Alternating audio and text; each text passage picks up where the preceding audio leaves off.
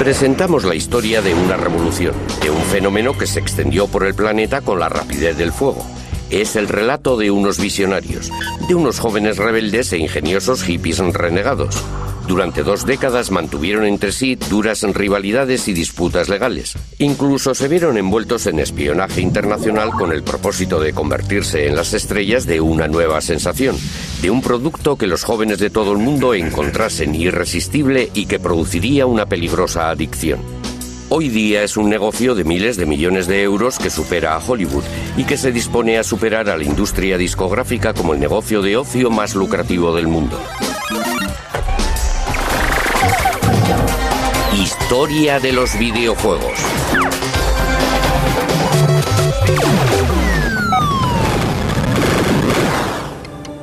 Todo empezó en 1972 con un puñado de rebeldes del Valle de Silicón que abandonó su trabajo rutinario de ingenieros con el fin de lograr hacer realidad su sueño de crear videojuegos.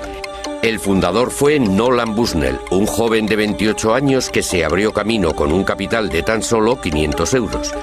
Creó una empresa a la que bautizó Go, el nombre de su juego de mesa favorito. En japonés, cuando alguien está a punto de vencer a otro, le avisa de antemano cortésmente diciendo Atari.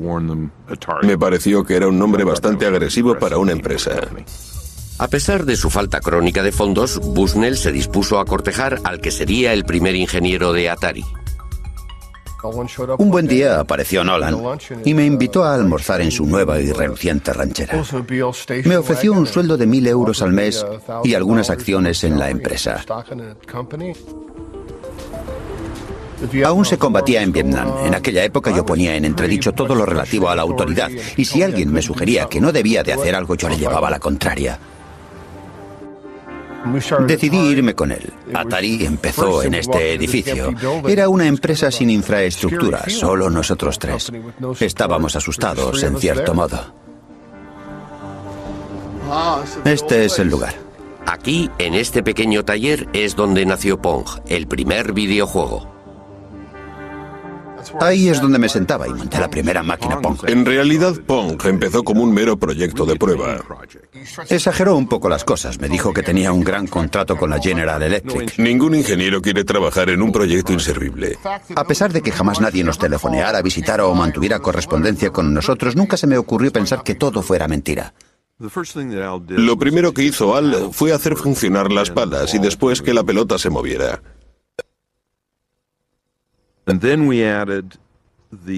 El lugar donde la pelota golpeara la pala determinaría el ángulo de rebote.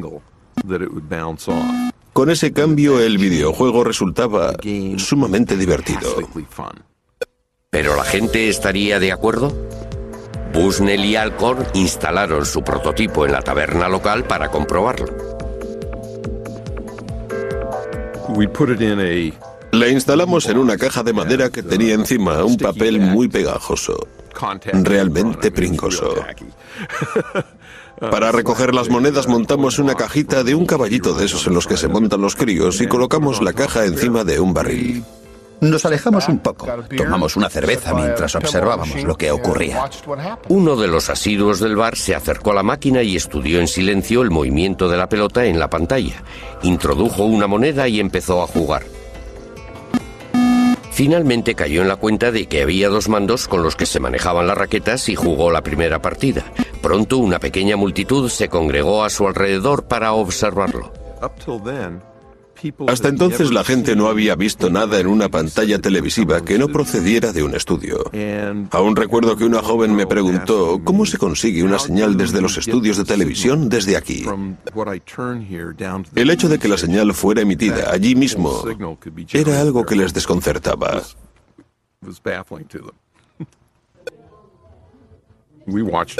Estuvimos observando todo aquello y nos fuimos a casa. Al día siguiente nos llamaron para decirnos que la máquina se había roto. Abrimos la máquina y comprobamos que el problema era que la caja estaba tan llena de monedas que no cabía ni una más. Pensé, es un problema que fácilmente podremos solucionar. Cuando Nolan vio lo bien que funcionaba Pong, el dinero que estaba haciendo, se dijo, tengo una mina y lo que vamos a hacer es multiplicarla.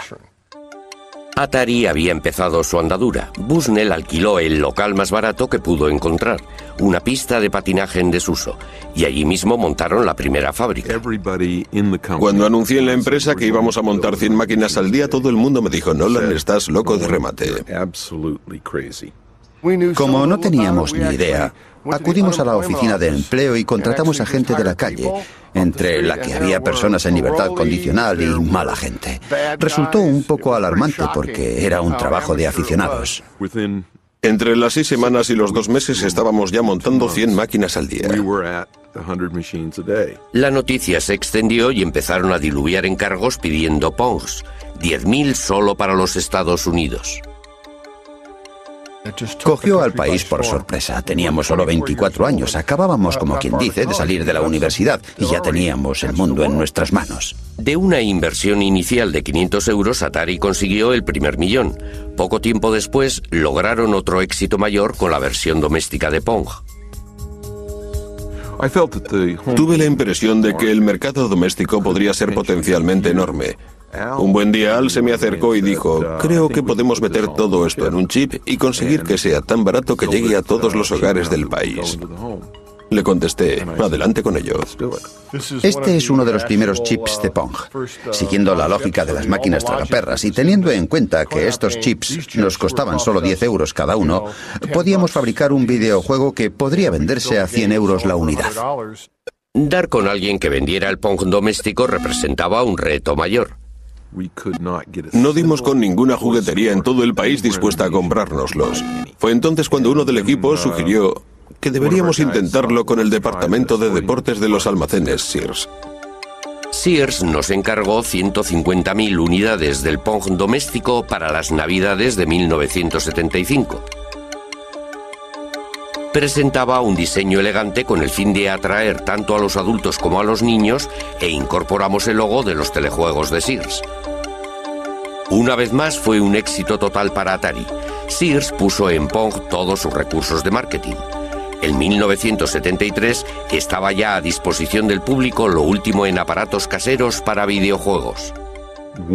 Apareció un anuncio y se vendieron todas las existencias. Fue algo maravilloso. El éxito de Atari fue total.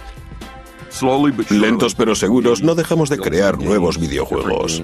Busnell volvió a centrarse en los salones recreativos. Estaba decidido a ir un paso por delante de sus competidores. Adoptamos la actitud clara de que íbamos a librar una guerra sin cuartel contra nuestros rivales. Por eso creábamos los juegos, los comercializábamos y los innovábamos. Que arranquen las máquinas. Para conseguir fabricar los mejores videojuegos necesitaba los mejores ingenieros. Por eso hizo de Atari la empresa de juguetes más atractiva para trabajar del planeta. El recién contratado David Crane admiraba el extraño éxito con el que Bushnell dirigía la empresa. Genial era una palabra que Nolan repetía bastante a menudo. Si a él le parecía que algo era genial, intentaría hacerlo porque pensaba que a todos los demás les tenía que parecer lo mismo.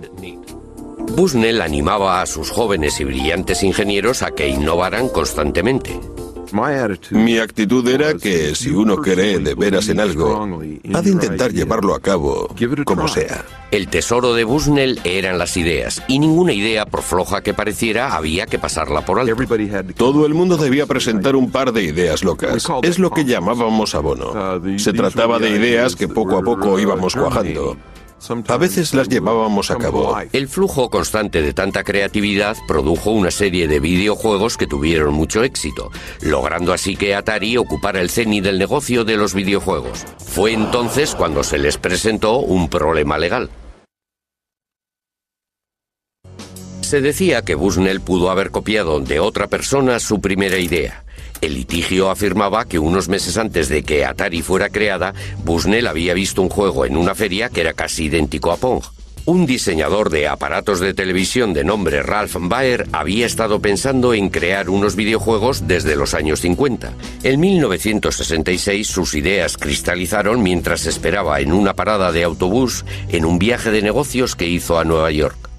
Cuando volví a mi despacho a la mañana siguiente, el 1 de septiembre de 1966, redacté una memoria de cuatro hojas en la que explicaba todo el proyecto. Propuse cosas como videojuegos de deportes, de persecución, de carreras y de coches.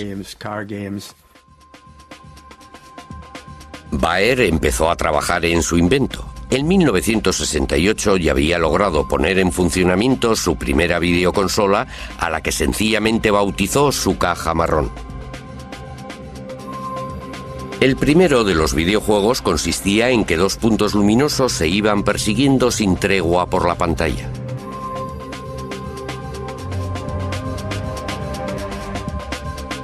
No tardó en aparecer un juego de ping-pong. Esto ocurría cuatro años antes de que Bushnell y Alcor aparecieran con su Pong. Magnavox Television firmó un contrato con Baer y produjo una versión muy cuidada de la caja marrón. El Odyssey ofrecía 12 videojuegos diferentes. Cada juego tenía su color que servía para hacer resaltar los gráficos que se iban superponiendo uno tras otro. Además de los controladores, Baer también sacó el primer haz de luz para los videojuegos en los que había que disparar un invento que supuso todo un adelanto en su tiempo. El Odyssey fue lanzado al mercado en una feria en 1972 en Nueva York. Fue el mayor éxito de la feria.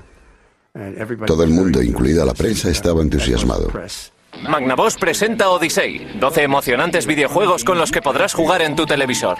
El 24 de mayo de aquel año, en otra feria en el Valle de Silicón, apareció un nombre en el libro de visitas, Nolan Bushnell. Probó los juegos ofrecidos por el Odyssey. Se divirtió con el juego del ping-pong. El hecho cierto es que vi el juego Odyssey y la verdad no me pareció un juego muy inteligente. Tanto si Bushnell se había inspirado en el Odyssey como si no, Ralph Baer ya había patentado sus diseños. Esta es la patente, y si uno se fija en la letra pequeña, se puede ver que fue presentada en enero de 1968. Consta de un televisor y debajo tiene dos controles manuales, uno a cada lado. Magnavox, basándose en las patentes de Baer, denunció a Atari. Nuestra postura siempre fue clara. Dijimos, solo llegaremos a un acuerdo si nos cuesta menos que aceptar un pleito. Después de cuatro años de negociaciones, Bushnell y Baer se vieron las caras por primera vez en la escalinata del Tribunal Federal de Chicago en 1976. Antes de ir a juicio, Bushnell y su abogado estaban de acuerdo en pagar una retribución reconociendo las patentes de Baer. Al cabo de unos días acordaron en pagar una cantidad muy razonable. No cabe duda que le salió bien la jugada. Magnavox aceptó una conciliación por valor de 400.000 euros. Ralph Baer logró que se le hiciera justicia, pero no consiguió el reconocimiento internacional que Bushnell disfrutaba por aquella época. Le atribuyeron la paternidad de los videojuegos porque se pasaba el día delante de las cámaras mientras yo permanecía entre bastidores escuchando lo que me decían los abogados. Tranquilo, Baer, tranquilo, que solo tiene tu licencia. Han pasado ya 25 años. Baer está jubilado y padece leucemia. Sin embargo, está decidido a acabar su autobiografía y dejar bien claro para la posteridad cuál fue el verdadero origen de los videojuegos. En cuanto a Bushnell, el acuerdo le resultó barato. Atari estaba ya embolsándose millones. Pero mientras en los grandes almacenes era popular, Atari se enfrentaba a una nueva amenaza que venía del Japón con un videojuego que estaba conquistando el mundo de forma imparable. En 1978, Taito creó un juego que se hizo tan popular en Japón que provocó una gran escasez de monedas de 100 yens. Se vendieron más de 350.000 máquinas de los invasores del espacio, lo que provocó el renacimiento de los videojuegos en los salones de juego. La respuesta de Atari fue sacar al mercado su propia gama de videojuegos espaciales y de tiro. Los brillantes jóvenes ingenieros de Nolan Bushnell fueron los pioneros de una nueva tecnología llamada gráficas vectoriales con una nueva presentación muy llamativa. En 1979, Asteroides se convirtió en el mayor éxito de toda la historia de Atari. Atari tuvo otro éxito arrollador con Zona de Combate, unos gráficos tridimensionales que incluso fueron fuente de inspiración para el ejército norteamericano. Los salones aparecían como setas por todo el mundo. Tanto los adolescentes como los adultos acudían en su tiempo libre a esos lugares oscuros y llenos de humo. La reacción tanto de los padres como de los políticos fue inevitable. En la prensa pululaban a diario historias sobre jóvenes delincuentes y de chavales que hacían novillos. Los salones de juego fueron tildados de cuevas de perdición. Fue entonces cuando Atari presentó una solución. En 1975 sus ingenieros empezaron a trabajar en una nueva idea. Un sistema en el que se podían llevar a casa en unos cartuchos los mismos videojuegos que los que disponían los salones recreativos. Este es el primer prototipo del sistema de videojuegos en cartuchos de Atari. Tiene todos los elementos que se necesitan en un prototipo. Tenemos el cableado y las palancas del videojuego del tanque. Sabíamos que necesitábamos esto para poder jugar a Pong para poder jugar al videojuego del tanque, porque tenía que ver con los juegos teledirigidos y otros, pero no estábamos muy seguros de lo que íbamos a hacer con ello.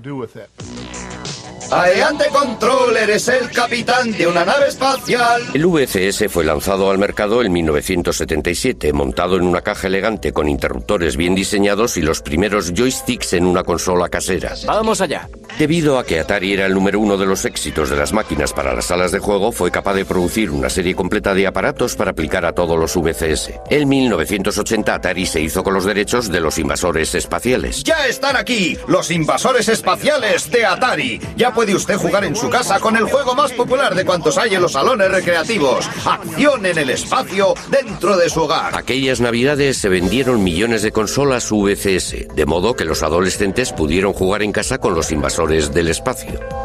Les presentamos un estupendo nuevo videojuego de Atari llamado Pac-Man. Los ingresos conseguidos por Atari la convirtieron en la empresa que más rápidamente había crecido en la historia de los Estados Unidos. Pero la meteórica carrera de dicha empresa atrajo la atención de Warner, que le hizo a Bushnell una oferta que no pudo rechazar. Adquirieron Atari por 28 millones de euros, un negocio que se había iniciado con un capital de tan solo 500 euros. Todo el mundo tiene un Atari, la número uno en los videojuegos. En aquellos tiempos era un montón de dinero. Era mucho más de lo que yo había soñado jamás. Pero representó el principio del fin de Atari. Bushnell al cabo de muy poco tiempo acabó rompiendo con los nuevos propietarios. Estábamos lanzando al mercado los VCS y comenté a los míos, bien, se acabó lo de los VCS. Y me dijeron, ¿qué? Añadí, bueno, no, pero va a ser así. Y se quedaron horrorizados. Los nuevos dueños de la Warner estaban insatisfechos de la dirección de la empresa. Eran neoyorquinos y no lo entendían. Pensaron que todo era muy raro y empezaron a desmontarla trozo a trozo, a desmontar toda la cultura corporativista que teníamos. Y al final lo que hicieron fue aniquilar la empresa. Fue la cosa más torpe que he visto en mi vida. Finalmente, tras una serie de decisiones importantes tomadas por los nuevos jefes, Bushnell tuvo que abandonar su cargo. Le indemnizaron y le pusieron de patitas en la calle. La industria había perdido a su visionario pionero, pero no se habían acabado los problemas de Atari. Bajo la nueva dirección, los diseñadores estrella de la talla de David Crane no eran ya valorados por el papel que habían jugado en el mayor éxito que había disfrutado la empresa. Nos hicieron un montón de promesas que jamás cumplieron. Nosotros teníamos unos ingenieros clave que elaboraban los cartuchos para los videojuegos, que ganaban entre 50 y 60 mil euros al año. En tres o cuatro meses producían el software para un cartucho que podía llegar a venderse por un valor de 100 millones de euros. Si nos hacían pensar que no valíamos más que los encargados de poner los tirafondos de las cajas, eso quería decir que no estábamos en la empresa adecuada. David Crane y otros tres diseñadores importantes abandonaron Atari y crearon su propia empresa, Activision. Tras dos años de pleitos con Atari, se hicieron con los derechos para poder diseñar y producir sus propios videojuegos. El propio Crane diseñó el videojuego más exitoso de todos los tiempos, Pitfall. Todos los juegos que desarrollamos nosotros fueron grandes éxitos. Cuando Pitfall salió al mercado fue el mayor de todos los éxitos porque se vendieron muchos millones de unidades. Lo que en realidad estábamos desarrollando con Pitfall era el primer videojuego provisto de una consola. Activision volvió a encender la llama del espíritu creativo de la primera época de Atari, pero al mismo tiempo, sin quererlo, provocó un desastre. Fueron muchos los que se cegaron con el éxito de nuestro trabajo y desgraciadamente invadieron el mercado con productos que nadie quería comprar. Atari contribuyó a la pérdida de confianza en los videojuegos por parte del público ya que había productos como el ET de muy baja calidad. Un videojuego de ET, guau. Muy pronto con ustedes. Millones de copias de ET acabaron en la basura. Deje que ET entre en su casa. El mercado de los juegos de ordenador se desmoronó y en 1983 la Warner anunció unas pérdidas de más de 250.000 euros cayendo sus acciones en picado. Lamento haber vendido mi empresa a la Warner. Es la cosa más estúpida que he hecho en mi vida. En 1984 la Warner se deshizo de Atari y con ello fue declarada la muerte de los videojuegos norteamericanos. Pero en otros lugares, una nueva raza de diseñadores de tan solo 12 años que trabajaba en sus habitaciones estaba resucitando la industria que acabaría convirtiéndolos en adolescentes millonarios. A principios de los 80, unos adolescentes británicos montaron una revolución en sus cuartos, en las aulas y en los patios de los colegios. Eran los alumnos más raros de la escuela. Unos genios de la ciencia que eran buenísimos en matemáticas pero con pocos amigos, y que sin embargo se iban a convertir en millonarios. Sí, empezó como afición y se convirtió en una obsesión, y luego en una carrera. Los gemelos Philip y Andrew Oliver eran unos típicos adolescentes británicos. Sus padres no permitían que hubiera una videoconsola en casa. Sin embargo, pensaban que un ordenador sí que era algo educativo. Muy oportunamente apareció en el mercado toda una serie de ordenadores personales baratos como el Spectrum ZX y el Commodore 64. Miles de progenitores británicos los adquirieron para sus hijos con la idea de que les ayudasen a hacer los deberes, pero los chicos tenían otras ideas. Sin que nadie les echara una mano, descubrieron que eran capaces de crear sus propios videojuegos como los que había en las salas de juego e incluso mejores. Nos fijamos en las salas recreativas. El problema en dichos sitios era que los chicos tenían que meter monedas cada pocos minutos para divertirse, mientras que con los videojuegos podían pasarse jugando toda la tarde. Los gemelos Oliver fueron autodidactas y partiendo de cero aprendieron a programar videojuegos. En 1982, con tan solo 13 años, presentaron su primer videojuego a una revista especializada que publicó su trabajo. El trabajo había sido bautizado Roadrunner.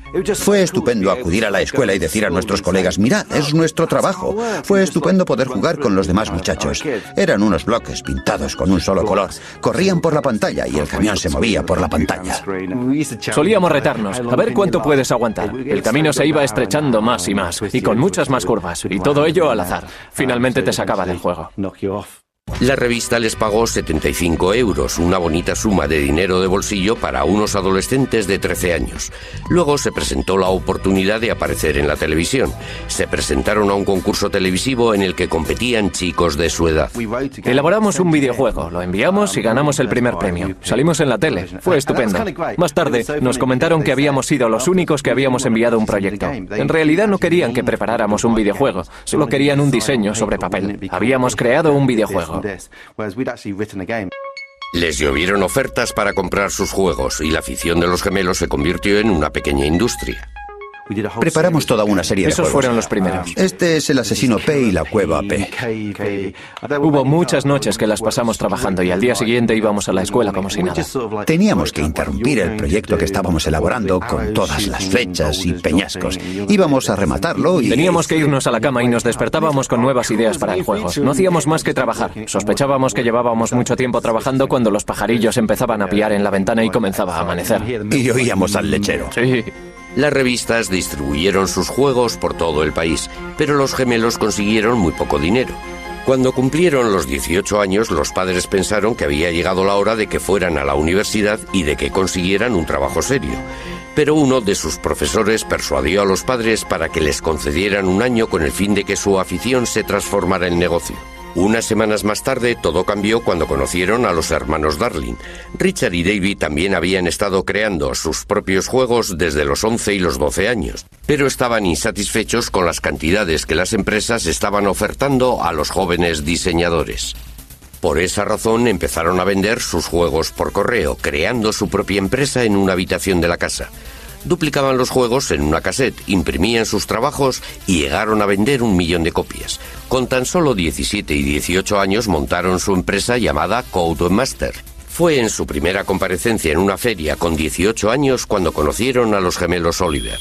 Vinieron los gemelos Oliver a nuestro stand y nos presentaron una demo con uno de sus juegos que habían preparado de antemano. No paraban de decir, sí, sí, un juego así, os daremos 15.000 euros. Estábamos alucinados. Alguna vez han comentado que se quedaron boquiabiertos, que se quedaron profundamente emocionados, pero lo debieron ocultar muy bien. Nos faltó tiempo para volver a casa. No pudimos conciliar el sueño. En menos de un mes creamos Super Robin Hood, que llegó a ser el número uno en ventas. Para Navidades ya habíamos vendido más de 100.000 unidades y ganamos 15.000 euros. Era increíble. En cuanto empezamos a vender, ya no pudimos parar. Fue la colaboración más exitosa en la historia de los juegos para ordenador. Calculamos que el 50% de los juegos de Codemaster fueron creados por nosotros. Los gemelos Oliver también estaban trabajando en un proyecto secreto. Querían inventar algo totalmente nuevo, un juego centrado en un personaje animado. Dicho personaje no fue otro que DC. Queríamos presentar un mundo de fantasía. Tuve la idea de que la cara del personaje tenía que ser tan grande como fuera posible, para darle un toque de personalidad. En Codemasters recibieron montones de cartas de fans que hacían toda clase de preguntas. Cada vez que íbamos nos decían que teníamos más correo de nuestros fans. DC fue un éxito internacional, fue el más vendido en todo el mundo.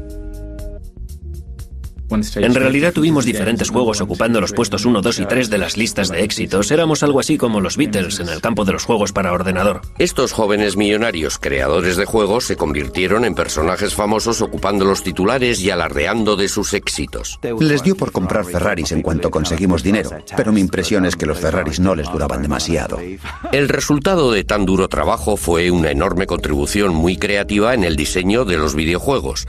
Eran videojuegos diseñados por los propios propios jugadores para jugadores. Gracias a la era del ordenador casero, Gran Bretaña contribuye hoy día más que cualquier otro país a la industria de los videojuegos. Recuerdo que le dije a un periodista que un día todo esto llegaría a superar a la televisión. Y ahora mismo, la industria británica de los videojuegos exporta más que la industria del cine y de la televisión inglesas juntas. Pero a principios de los 80, mientras unos adolescentes británicos eran las estrellas de la era del ordenador casero, en Oriente también estaban emergiendo otras estrellas. El centro de la industria iba a desplazarse una vez más. La industria de los videojuegos, que había comenzado con Atari en la costa oeste de los Estados Unidos hacía 30 años, estaba ya dominada por Japón.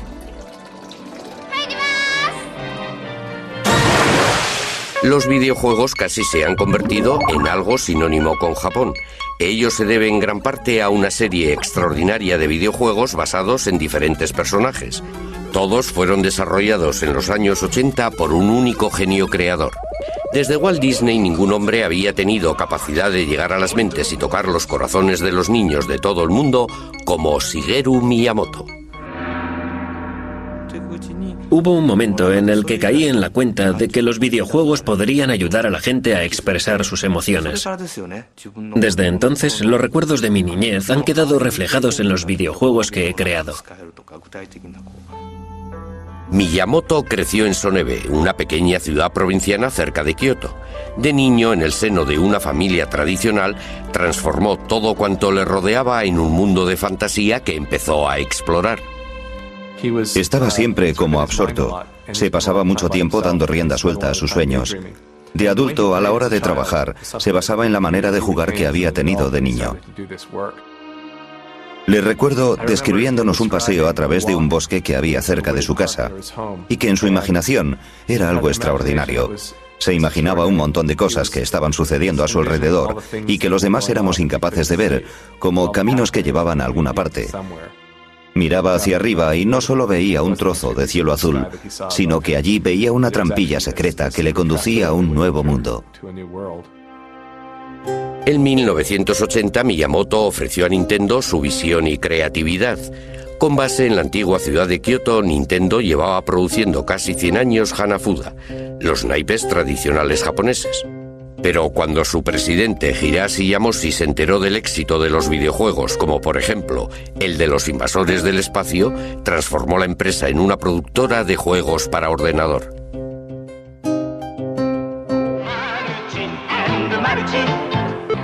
A sus veintipocos años Miyamoto no mostraba ningún interés en los videojuegos, pero su padre quería que tuviera un trabajo respetable. Miyamoto era un artista imaginativo, creativo, inventivo. El último lugar en el que esperaba ir a parar era una gran empresa. Odiaba los ordenadores, no tenía fe en cosas intangibles como por ejemplo la electricidad. El siguiente golpe de suerte fue un aviso de crisis proveniente de Norteamérica. Nintendo había establecido un pequeño cuartel general en Seattle. La época de los salones recreativos estaba en su punto álgido con Atari a la cabeza y Nintendo quería un trozo del pastel. La rama norteamericana de Nintendo había encargado 2.000 unidades de un juego muy exitoso en Japón llamado Raiders Cop, pero en Norteamérica fue un desastre. Le solicitaron a la oficina principal en Kioto que creara algo que lo reemplazara. Como no disponían de un diseñador, tomaron la decisión de dar al empleado más novato su gran oportunidad. Miyamoto se quedó totalmente desconcertado y agobiado ante tal idea. Empezó a investigar. Acudió a los salones recreativos para poder ver y observar a los adolescentes que se divertían con aquellos videojuegos e intentó entender de qué se trataba. Empezó a forjar su idea y a considerarlos como si fueran películas. ¿Por qué no iban a poder contar una historia? Miyamoto creó una historia sencilla y unos personajes llenos de color en el juego que acababa de inventar. Permítame que le muestre el primer boceto que preparé para Donkey Kong. El gorila se escapa de la jaula, atrapa a la chica y se fuga con ella. Un hombre con un martillo en la mano le persigue esquivando todos esos barriles. Al final aparece un agujero en el suelo. El gorila cae dentro de él y se mata. Con el fin de dar vida a sus personajes, Miyamoto tuvo que trabajar con las limitaciones que le imponía la tecnología de la época. De repente surgió un problema. ¿Qué pelo tenía el personaje? El asunto es que él se estaba cayendo. En un videojuego, el pelo presentaba una dificultad que los diseñadores de la época no podían resolver. Es decir, por la inercia de la caída, el pelo tenía que aparecer con las puntas hacia arriba. Miyamoto resolvió el problema poniéndole una pequeña gorra. Dándole un toque final, Miyamoto compuso la música para el videojuego que fue enviado a Seattle. Quedaba por ver si Donkey Kong iba a tener más éxito que el fracaso que había supuesto Rey Dascop al que debía sustituir.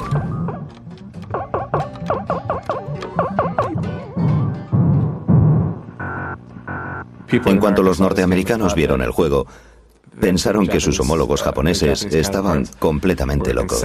Temiéndose lo peor, el equipo norteamericano de Nintendo tomó la decisión de poner a prueba el juego en un bar, exactamente igual que lo había hecho Atari una década antes. Al día siguiente, volvieron a la taberna Spot. Abrieron la caja del dinero y había 30 euros en monedas de 20 céntimos. Estaba casi a rebosar. Eso quería decir que la máquina había estado funcionando sin parar todo el tiempo que el bar había permanecido abierto, desde la mañana hasta la noche. Comentaron, vaya, qué aberración es esta. Es toda la investigación de mercado que necesitamos. Adelante con ello. Solo en el primer año el juego recaudó 100 millones de euros.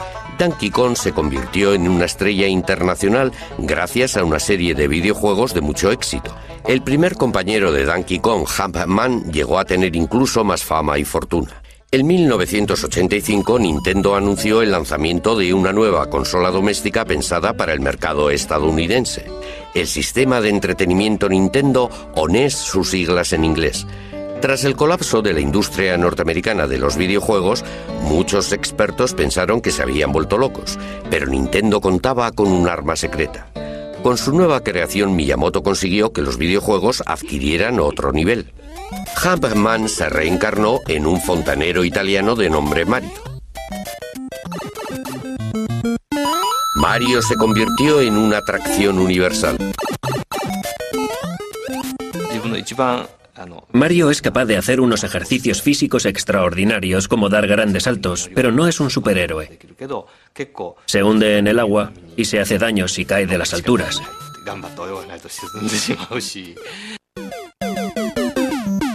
Miyamoto creó un mundo aparte lleno de tuberías, alcantarillas, barrancos y arrecifes para que Mario lo explorase. Además, inventó un ejército de monstruos animados para que Mario se enfrentara a ellos. En las pruebas de la primera versión, Mario era enorme. Luego creé al pequeño Mario. El juego cobró más interés con los dos hermanos. Más tarde me pregunté qué comida mágica podría transformar al pequeño Mario en el Mario grande. Fue cuando creé esa enorme seta roja. Estaba creando ese universo maravilloso que él mismo estaba contemplando a través de un espejo. Enseguida aparecieron otras series y Mario se convirtió en una superestrella internacional.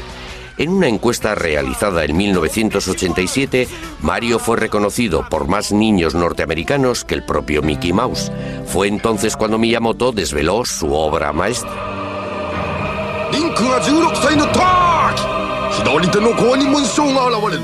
Nintendo sacó el primero de una serie de juegos que han sido reconocidos por todos como los mejores de la historia. La serie Zelda. La leyenda de Zelda se movía a través de todas las formas y niveles. Ofrecía a los jugadores un enorme mundo mágico por el que podían vagar y explorar libremente. La historia se inicia con un niño que está en medio de un campo. Carece de espada y escudo. El jugador empieza poniendo nombre al niño, pero no tiene ni idea de qué ha de hacer a continuación. Anda vagando por el campo buscando algo que hacer. En aquellos tiempos fue una idea muy atrevida. Zelda estaba inspirada en la infancia de Miyamoto cuando andaba y vagaba por los campos del entorno de su casa. Subía a los montes atravesando bosques y espacios rocosos. Finalmente llegaba a un gran lago.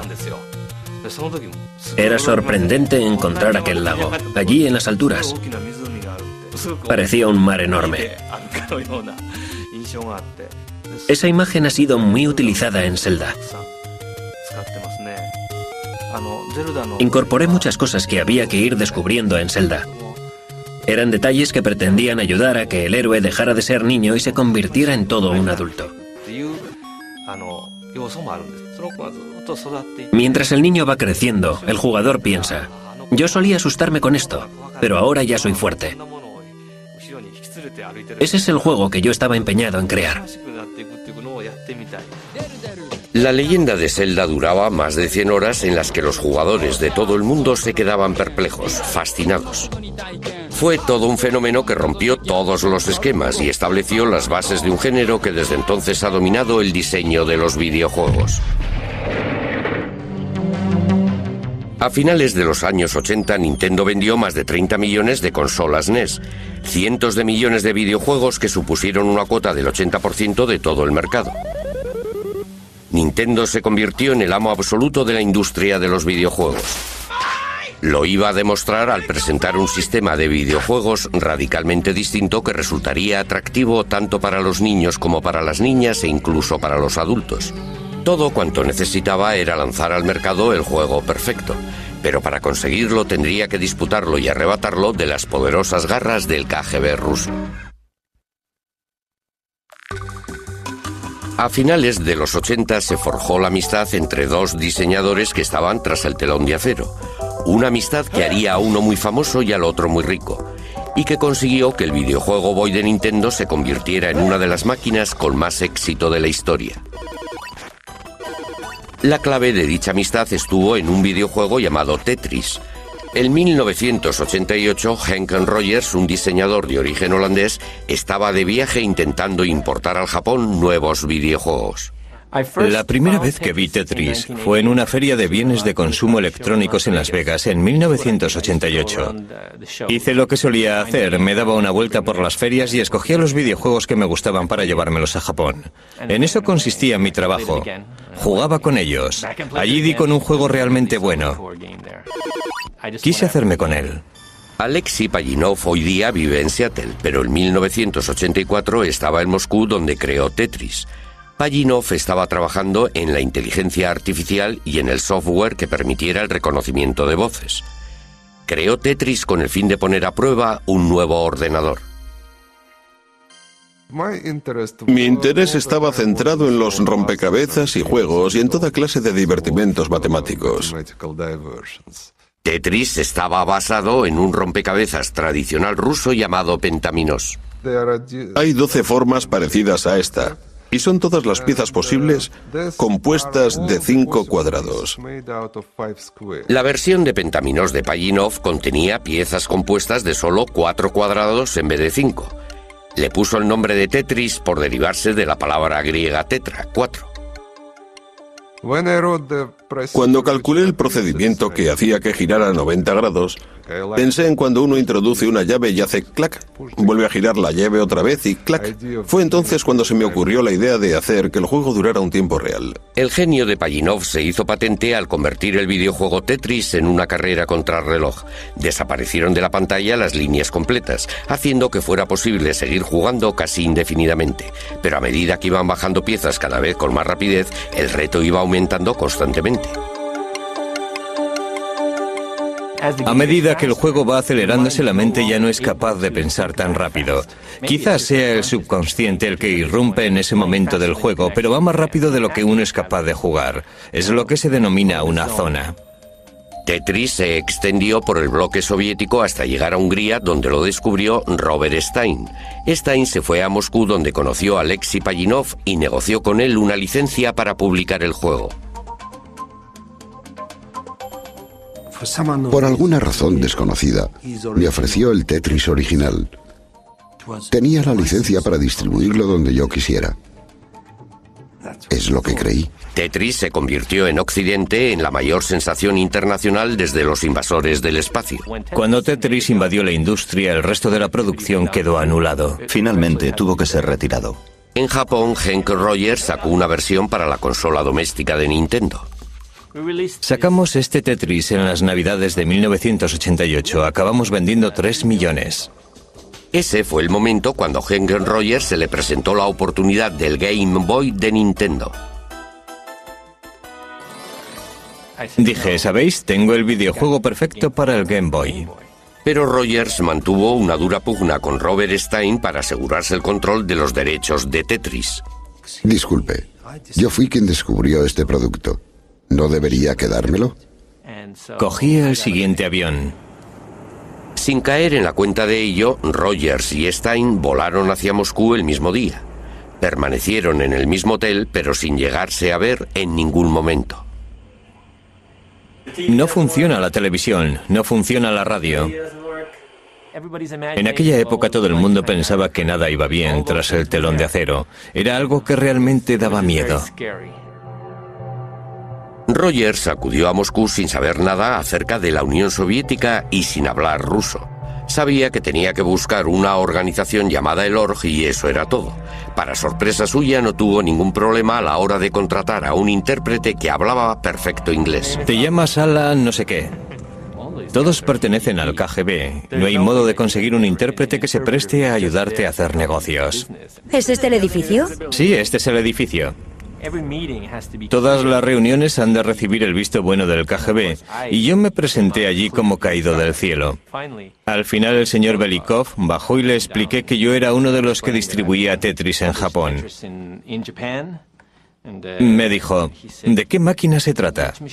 Le contesté que era para Nintendo. Añadió, pero si jamás hemos cedido esos derechos a nadie.